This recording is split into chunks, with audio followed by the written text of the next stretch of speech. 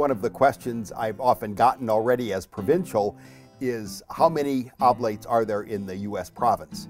Uh, I'm not exactly sure. Uh, a close estimate is about 250 brothers and priests uh, who are out ministering uh, or doing some kind of ministry, maybe prayer or more active ministry, but about 250 total uh, in the province. Uh, however, uh, having said that, we also have a, a, good number of seminarians in the three various levels, guys in pre-novitiate, novitiate, and, and post-novitiate, uh, studying for the oblates. But besides that, we have what I like to call the Mazenodian family. Uh, and in fact, that's rather extensive in terms of numbers. Uh, we have oblate uh, associates, we have oblate partners, oblate affiliates, employees, friends, families of oblates. And when you total that, besides all the people who correspond with us through our mail programs, learn about our charism, are interested in what the oblates are doing, our ministry, our work around the country, and also in Tijuana and Zambia, our two U.S. missions, we maybe have about 400 to 500,000. So almost half a million people who are with us in charism, in ministry, who believe in us and the importance of what we do. That's rather significant. My hope as provincial is to keep those groups separate. They were founded for a different reason. Uh, their contact with the oblates is very different. Their interest in the oblates is different. And yet there is a lot that unites them, and that's uh, the oblate charism. And some of them know about that charism a bit more than others, but hopefully with the help of Father Frank Santucci, who's really an expert on St. Eugene de Mazenod, our founder, and on our oblate charism, with his help, to help these different groups learn more about our charism, become a, a deeper part of who we are, and, and the ministry that we do in the country. That's very encouraging to me. And uh, while our numbers of oblates are significant and good and we do great ministry, uh, we don't want to forget about these many other groups who are really one with us in sharing what we do and who we are. I'm feeling very strong about this Mazenodian family, and you'll continue to hear me mention that often as provincial because I really believe that they add to our numbers and it helps us keep the big picture of how many folks are really with us and one with us in the ministry that we do and they themselves doing oblate ministry as well perhaps in a different way than us oblates. I had the great opportunity the end of August to go to St. Paul's University, an oblate university in Ottawa, Canada. The president of the university is Madame Chantal Beauvais, and at this seminar, which was sponsored by Justice, Peace, and Integrity of Creation U.S. Province, JPIC Lacombe, and St. Paul's University itself, the symposium's title was The Cry of the Earth is the Cry of the Poor. And the whole purpose of this day together was to show how really everything is united in creation, including, of course, human beings, that one action of creation deeply affects another. That came out again and again, especially with the theme of Laudato Si by Pope Francis, where he says in that encyclical so clearly that the way we care for ourselves, even in terms of our faith life, our spirituality, that is in tune with how we must care for the earth.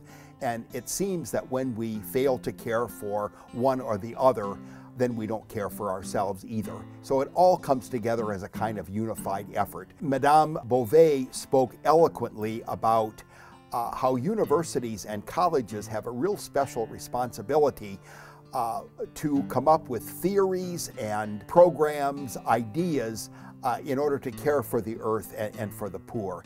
But she said we must not stop there, that universities and colleges also have the responsibility uh, not only to theorize, but also to uh, be involved in praxis. So from the theory to really get out there and uh, give some practical steps toward caring for the earth, caring for the poor. And I, I, thought that was, that was a wonderful idea. Father Seamus Finn is an oblate and who works with Justice and Peace in the United States, spoke about the biblical tradition of who the poor are, uh, how the Bible has defined the poor throughout the centuries, and then gave some really hopeful insights as to um, different organizations that have begun, uh, that have recently been founded to continue caring for the poor. The Paris Summit, where nations came together and agreed upon the fact that we must really do something to care for the earth. So it was a day where uh, these three entities came together uh, and, and really gave good insight as to how uh, everything has a certain connectedness to it, which of course was the uh, very strong theme of, of Pope Francis in Laudato Si. The challenge, of course, is always how can we live this? In our own little world, the care that we have for ourselves, for our environment, how can we put it into practice in terms of, of our own lives and in our own care for the earth? In just the three short months of being provincial, I've already had a lot of challenging questions uh, from oblates. And one of them uh, recently was uh, if you had to pick two uh, big challenges uh, in, in your first years of provincial, what would they be? Uh, and the two words that really came to mind are animation and communication. Animation is a tough one. It's spoken about a lot in our constitutions and rules uh, that we need to keep ourselves animated about the charism, about our founder, about our history, uh, pride in our vocation uh, in being an oblate brother or priest. Uh, and, and I think that animation really, first of all, has to do with uh, how we look at ourselves.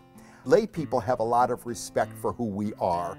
The other day, uh, after our anniversary Mass, a couple people came up to me and they said, We just love you oblates. That made me feel so proud. My point being that I think a lot of times lay people have more respect for us, honor us in a deeper way than we do ourselves often. We do a lot of good work for a lot of people. One of the things I used to reflect upon when I was personnel director, how many lives we touch on a daily basis in our country with the ministry that we do.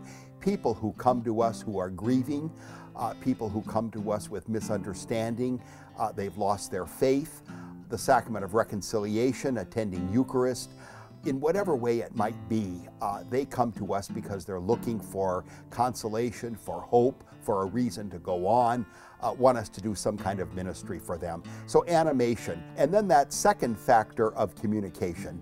I feel that's really strong. That's one of the reasons I'm doing these interviews uh, with these various groups that are uh, feel themselves aligned with the oblates, the partners, the associates, uh, family, friends, employees of oblates, affiliates. Um, hopefully, through uh, these interviews, through better communication, they will feel a, a bigger part of us. So I want to let them know what's going on in the province. I have the privilege as provincial of getting around a lot, and so all the major events, the meetings, the conferences, the symposiums, I'm invited to and try to go to. So the more that I can communicate what happens at these events, and then just the simple ministry that oblates and people in these various groups are doing, the good ministry they're doing.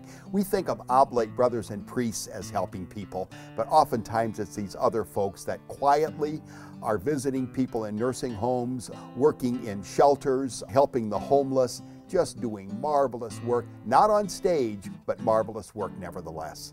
As provincial, I have the unique opportunity of visiting a lot of places in the province. And one that really stands out for me is uh, the Under 10 meeting. Uh, this is a meeting of oblates who are in perpetual vows uh, 10 years or less, or ordained 10 years or less. You may have already heard about this wonderful story, but uh, I'd like to give it to you in more detail because it was a real significant sign of, of hope for me as provincial. So we're in Tijuana at the uh, beginning of August and uh, having a great meeting. And uh, Father Julio Narvaez, who's the pastor of our mission parishes in Tijuana, came up to me and he said, Hey, he said, Lou, would you mind if I invited uh, the Archbishop of Tijuana to celebrate Mass with us in a couple days? And I said, no, that would be fine. And he said, well, that would be a good opportunity for you to present this plan that we've presented to you already and see what the Archbishop thinks of that. So uh, he came, celebrated Mass with us, uh, had lunch with us, and then uh, we sat down and uh, I presented the plan that these young oblates had presented to me. We have four uh, oblates under the age of 45 uh, working in Tijuana. Besides a pre-novitiate there for our guys studying for uh, the oblate way of life, and a brother there who's more elderly, who does some of the uh, administrative chores. So I spoke with the Archbishop and presented this plan. This is at the initiative of these young oblates that are down there. They want to move further south in Tijuana where new poor are moving in from Central and South America. They arrive there, they have nothing. They come with no belongings, what they can carry, walking from these countries. They come to Tijuana because they want to work in the factories, many factories in Tijuana. And they're looking, they've been looking for work for some time and they, they hope to find work there. Our guys are very aware of this, of all these new people moving in there.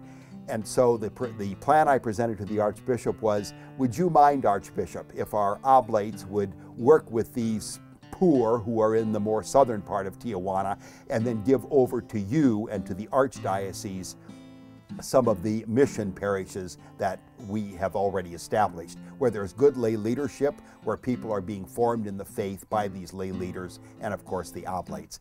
These mission churches are nothing to envy.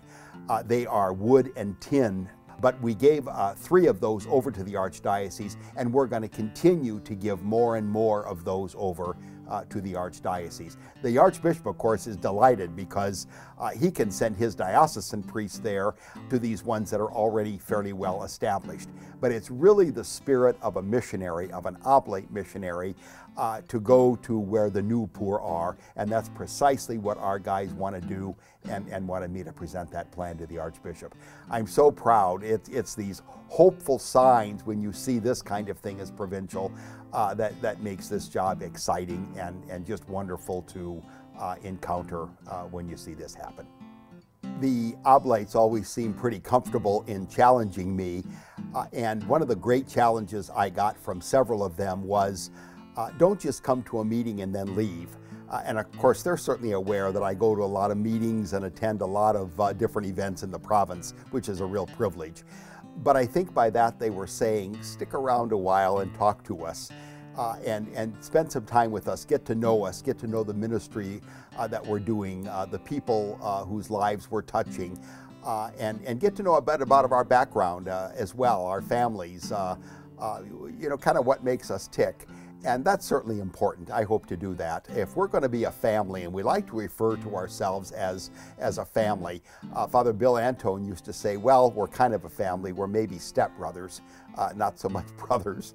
But what, how, whatever term you want to use, we are Oblate family, and we're Mazenodian family as well. And, and I just want to keep underlining that whenever I get the opportunity to uh, speak with all of you and uh, update you on what's going on in the province. It's interesting, all the events, uh, the, the people I meet, uh, the opportunities I have to learn about the good work being done.